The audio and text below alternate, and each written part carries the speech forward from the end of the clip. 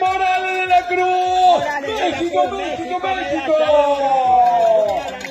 México se queda con la medalla dorada. Impresionante, impresionante.